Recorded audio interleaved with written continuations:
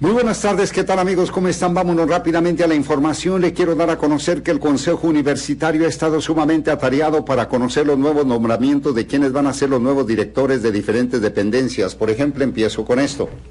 Armando Villanueva Ledesma es el nuevo director de la Facultad de Filosofía y Letras después de esta elección efectuada.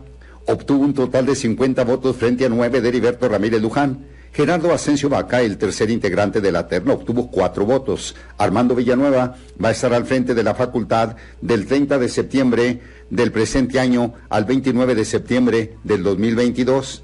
Esta es parte de la información.